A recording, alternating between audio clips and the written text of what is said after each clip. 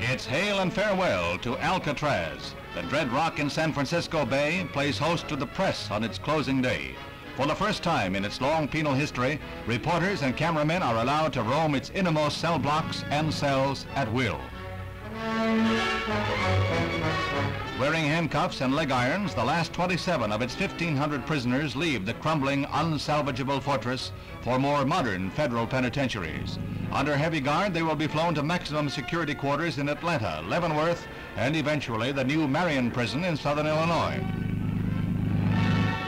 Maintenance guards will be the only inhabitants of the island until its final disposition is decided by Congress and the state of California.